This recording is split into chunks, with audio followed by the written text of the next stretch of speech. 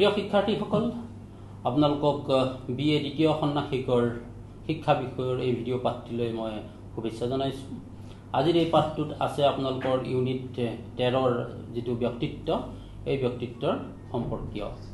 আমি ইতিমধ্যে প্ৰথমটো ভাগত ব্যক্তিত্বৰ সংজ্ঞা সম্পৰ্কে আলোচনা কৰিছোঁ। এতিয়া আমি এই ভিডিঅ'টোৰ দ্বিতীয় ভাগত আলোচনা কৰিম ব্যক্তিত্বৰ প্ৰকৃতিনো কি? আপুনি এই ভিডিঅ' পাঠটি গ্ৰহণ কৰিলে এই ব্যক্তিত্বৰ প্ৰকৃতিসমূহ নিশ্চয় বুজিব পাৰিব। গতিকে ইয়াতে আমি ক'ব বিচাৰিছোঁ যে ব্যক্তিত্ব হৈছে এজন ব্যক্তিৰ বাহ্যিক আৰু আভ্যন্তৰীণ এই দুইটা ক্ষেত্ৰতে দুইটা দিশতে তেওঁ চাৰিওকাষৰ পৰিৱেশৰ লগত সমাযোজন কৰিবলৈ সামগ্ৰিক ৰূপত যিটো সংৰচনা বা যিটো স্বৰূপ আমি দেখা পাওঁ সেইটোকে আমি এজন ব্যক্তিৰ ব্যক্তিত্ব বুলি কওঁ। ব্যক্তিত্ব এটা বহু দিশধাৰী এটা বিষয় ইয়াৰ লগত অনেক বিষয় জড়িত হৈ আছে। আমি এতিয়া চাওঁ ব্যক্তিত্বৰ কিছুমান গুৰুত্বপূৰ্ণ ফিচাৰ্ছ এতিয়া পাৰ্চনেলিটি বা ব্যক্তিত্ব সাধাৰণতে এজন ব্যক্তিৰ ইয়াতে বংশগতি আৰু পৰিৱেশ দুয়োটাই প্ৰভাৱিত কৰে। অৰ্থাৎ এজন ব্যক্তিৰ ব্যক্তিত্ব গঢ় লোৱাৰ ক্ষেত্ৰত তেওঁ তেওঁ উপৰি পুৰুষৰ পৰা বা মাক দেউতাকৰ পৰা পোৱা যিবোৰ বংশগত গুণ যিবোৰ জিনৰ জৰিয়তে তেওঁলৈ আহিছে সেইবোৰ দ্বিতীয়তে তেওঁ কি পৰিৱেশত জন্মগ্ৰহণ কৰিছে আৰু কেনে পৰিৱেশত তেওঁ আছে ডাঙৰ দীঘল হৈছে কেনেধৰণৰ শিক্ষা সমাজ বা ওচৰ চুবুৰীয়া বা পৰিৱেশ পাইছে এই সকলোবোৰ মিলিহে এজন ব্যক্তিৰ ব্যক্তিত্ব হয়। কেতিয়াবা খুব ভাল ব্যক্তিত্বৰ পিতৃৰ পুত্ৰও হয়তো কেতিয়াবা বেয়া হ'ব পাৰে কেতিয়াবা আনকি অতি সাধাৰণ মানুহৰ পুত্ৰও অসাধাৰণ হ'ব পাৰে। এই গোটেই কথাটো সেইকাৰণে নিৰ্ভৰ কৰিছে যে কেৱল হেৰেডিটেৰী বা বংশগত গুণৰ জৰিয়তেই এজন মানুহৰ ব্যক্তিত্ব গঢ় লৈ উঠিব নোৱাৰে বা এজন ব্যক্তিৰ সুব্যক্তিত্ব গঢ় লৈ উঠিব নোৱাৰে। তাত পৰিৱেশৰো যথেষ্ট ভূমিকা আছে। সেয়েহে এজন মানুহৰ ব্যক্তিত্ব হৈছে by product of heredity and environment এই দুইটাৰে এটা সামঞ্জস্যপূৰ্ণ বৰঙণিৰ যোগেদি এজন মানুহৰ ব্যক্তিত্ব গঠন হয়। এতিয়া পাৰ্চনেলিটি বুলি কওঁতে আমি দেখা পাইছোঁ যে আমি যিবোৰ গুণ বা যিবোৰ ট্ৰেইট বা সংলক্ষণ আমি চাওঁ সেই সংলক্ষণবোৰ প্ৰায় সৰহভাগেই অৰ্জন কৰা বা শিকা। অৰ্থাৎ ব্যক্তিত্বৰ যিবোৰ সংলক্ষণ এজন ব্যক্তিয়ে আহৰণ কৰে সেইবোৰ তেওঁ হয় শিকে বা সেইবোৰ আহৰণ কৰে সমাজৰ পৰা শিক্ষানুষ্ঠানৰ পৰা মাক দেউতাকৰ পৰা ওচৰ চুবুৰীয়াৰ পৰা এইবোৰ শিকি লয়। আৰু পাৰ্চনেলিটি বুলি কওঁতে আমি এই যিবোৰ সংলক্ষণ এজন ব্যক্তিয়ে বিভিন্ন ক্ষেত্ৰত প্ৰদৰ্শন কৰে এইবোৰক আমি ভাগ ভাগকৈ নুবুজোঁ। এজন ব্যক্তিয়ে দেখুওৱা বিভিন্ন সংলক্ষণসমূহৰ সামূহিক যিটো ৰূপ সেই ৰূপটোকহে আমি ব্যক্তিত্ব বুলি কওঁ। আৰু আমি আগতো কৈছোঁ যে পাৰ্চনেলিটি হৈছে এটা ডাইনামিক প্ৰচেছ এটা গতিশীল প্ৰক্ৰিয়া। অৰ্থাৎ এটা শিশু ক্ৰমাগতভাৱে যেতিয়া তেওঁ শিশুকালৰ পৰা শৈশৱকাল পাব শৈশৱকালৰ পৰা যৌৱনকাল যৌৱনকালৰ পৰা তেওঁ যেতিয়া প্ৰাপ্তবয়স্ক কাল কাল পাব। তেনেকৈ তেওঁ প্ৰতিটো ষ্টেজতে তেওঁৰ ব্যক্তিত্বৰ স্বৰূপ বা ব্যক্তিত্বৰ ৰূপ বদলি হৈ থাকে। কিয়নো সময়ৰ লগে লগে তেওঁ পৰিৱেশৰ লগত হোৱা অহৰহ আন্তঃক্ৰিয়া তেওঁ পোৱা শিক্ষা অভিজ্ঞতা ইত্যাদিৰ ফলত তেওঁৰ ৰুচি অভিৰুচি তেওঁৰ মনোভাৱ তেওঁৰ মটিভেশ্যন প্ৰতিটো বস্তুৱেই কি হৈ থাকে এজন ব্যক্তিৰ সলনি হৈ থাকে। আৰু এইবোৰ তেওঁ আচাৰ আচৰণত আমি পৰৱৰ্তী সময়ত প্ৰত্যক্ষ কৰোঁ। এতিয়া আহকচোন আমি চাওঁ এই ব্যক্তিত্বৰ বৈশিষ্ট্যসমূহ কি কি।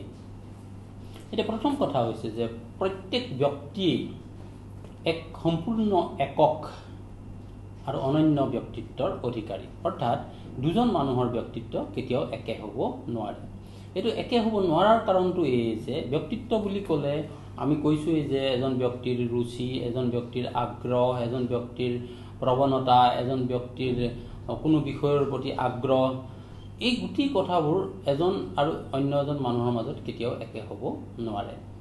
গতিকে প্ৰত্যেক ব্যক্তিয়ে পৰিৱেশৰ লগত নিজা নিজা ধৰণেৰে সমাযোজন কৰে।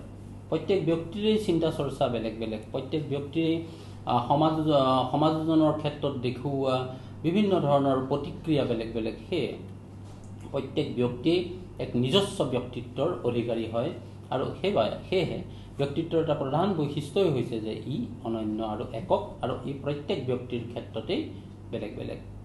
দ্বিতীয়তে হৈছে সংগঠন বা অৰ্গেনাইজেশ্যন গতিকে ব্যক্তিত্ব বুলি কওঁতে আমি এজন ব্যক্তিয়ে কোনো এক নিৰ্দিষ্ট পৰিৱেশত দেখুওৱা এটা নিৰ্দিষ্ট আচৰণক নুবুজাওঁ। আমি বুজাওঁ সেই ব্যক্তিজনে বিভিন্ন ক্ষেত্ৰত দেখুওৱা আচাৰ আচৰণৰ ধাৰাবাহিকতা বা তেওঁৰ বাহ্যিক বা আভ্যন্তৰীণ বিভিন্ন সংলক্ষণত প্ৰতিফলিত হোৱা তেওঁৰ স্বৰূপটোক আমি সামগ্ৰিক ৰূপত আমি চাওঁ।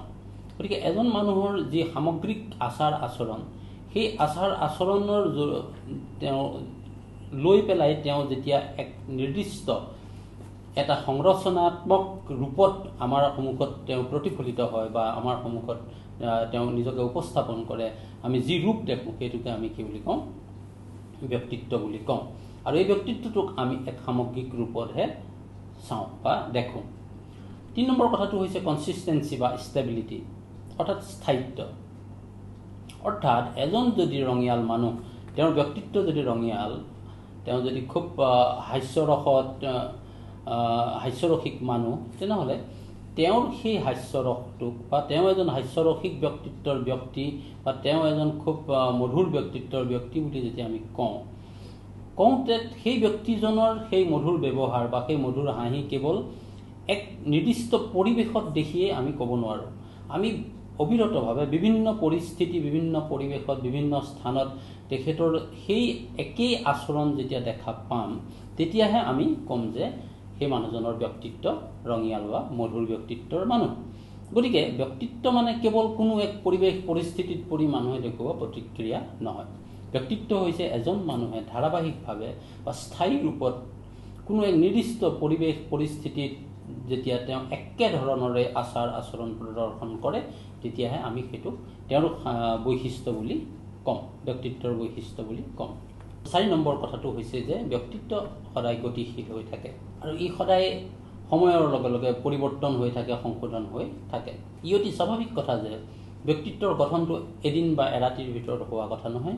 এজন শিশু এটি শিশু যেতিয়া ডাঙৰ দীঘল হয় তেওঁ ডাঙৰ দীঘল হওঁতে তেওঁ জীৱনৰ বিভিন্ন স্তৰত বিভিন্ন পৰিৱেশ পৰিস্থিতিৰ সন্মুখীন হয় বিভিন্ন নতুন নতুন কথাৰ সন্মুখীন হয় নতুন নতুন কৰ্মকাণ্ডৰ সৈতে পৰিচিত হয়। গতিকে তেওঁ এই যিটো প্ৰক্ৰিয়া অৰ্থাৎ তেওঁ বাহ্যিক পৰিৱেশৰ লগত হোৱা সংঘাত বা বাহ্যিক পৰিৱেশৰ লগত হোৱা মুখামুখি আৰু সেই বাহ্যিক পৰিৱেশে তেওঁ মানসিক জগতত সৃষ্টি কৰা ধুমুহা বা মানসিক জগতত সৃষ্টি কৰা পৰিৱৰ্তন এই সকলোবোৰ অবিৰতভাৱে সলনি হৈ থাকে আৰু সংশোধিত হৈ থাকে। সেয়েহে ব্যক্তিত্বক সদায় এক গতিশীল ধাৰণা হিচাপে আমি দেখা পাওঁ।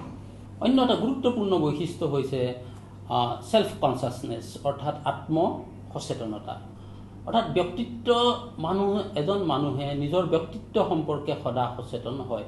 সেয়েহে মানুহৰ ব্যক্তিত্ব আছে কিন্তু গৰু ম'হ কুকুৰৰ ব্যক্তিত্ব নাই। এইকাৰণেই নাই যে গৰু ম'হ কুকুৰে নিজৰ যিটো নিজৰ সম্পৰ্কে যিটো আত্মধাৰণা বা আত্মসচেতনতা সেই আত্মসচেতনতাটো তেওঁ প্ৰদৰ্শন কৰিব নোৱাৰে।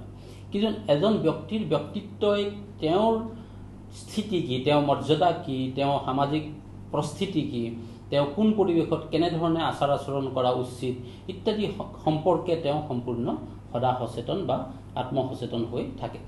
ফলত তেওঁ বিভিন্ন পৰিৱেশ পৰিস্থিতিত কেনেধৰণে আচাৰ আচৰণ কৰিব লাগে সেই সম্পৰ্কে সদায় সচেতন হৈ থাকে। গতিকে ব্যক্তিত্বৰ এক প্ৰধান সংলক্ষণ হৈছে যে ব্যক্তিৰ ব্যক্তিত্বৰ নিজৰ ব্যক্তিত্বৰ সম্পৰ্কে আত্ম সচেতনতা আৰু এই ব্যক্তিত্বৰ অন্য এটা বৈশিষ্ট্য হৈছে যে ইয়াৰ যিটো চাইক'ফিজিকেল ছিষ্টেম অৰ্থাৎ ব্যক্তিৰ যি শৰীৰ আৰু মন এই দুইটাৰ সমন্বয়তহে ব্যক্তিত্বৰ প্ৰকাশ হয়। গতিকে এই দুইটাৰ সমন্বয়ৰ যিটো প্ৰকাশ এই প্ৰকাশটোক আমি একেলগে ভাগে ভাগে নহয় একেলগেহে আমি ব্যক্তিত্বৰ সংৰক্ষণৰ ৰূপত দেখা পাওঁ। আৰু শেষত অন্য এটা অন্যতম বৈশিষ্ট্য হ'ল যে ই এক সামাজিক অৰ্থাৎ ছ'চিয়েল পাৰ্চনেলিটি এক সামাজিক পৰিৱেশতহে ব্যক্তিত্বৰ সংৰচনা হয় বা ব্যক্তিত্বত পৰিমাপন হয় বা ব্যক্তিত্বৰ চৰ্চা হয়। এটা নিৰ্জন দ্বীপত এজন মানুহৰ ব্যক্তিত্ব নিশ্চয় নাথাকে। গতিকে ব্যক্তিত্ব এক সামাজিক বিষয়। আৰু ই এক নিৰ্দিষ্ট সামাজিক পৰি বাহ্যিক পৃথিৱীৰ এক নিৰ্দিষ্ট সামাজিক পৰিৱেশতহে ইয়াৰ অস্তিত্ব আছে। গতিকে আশা কৰিছোঁ আপোনালোকে ব্যক্তিত্বৰ এই বৈশিষ্ট্যখিনি সম্পৰ্কে অৱগত হোৱাৰ পিছত নিশ্চয় আপোনালোকৰ ব্যক্তিত্বৰ এই ধাৰণাটো সম্পৰ্কে সুস্পষ্ট ধাৰণা নিজৰ মনত আপুনি গঢ় দিব পাৰিছে আৰু এই সম্পৰ্কে আপুনি ফটফটীয়াকৈ নিশ্চয় বিষয়টো বুজাত সহায় হৈছে। ধন্যবাদ।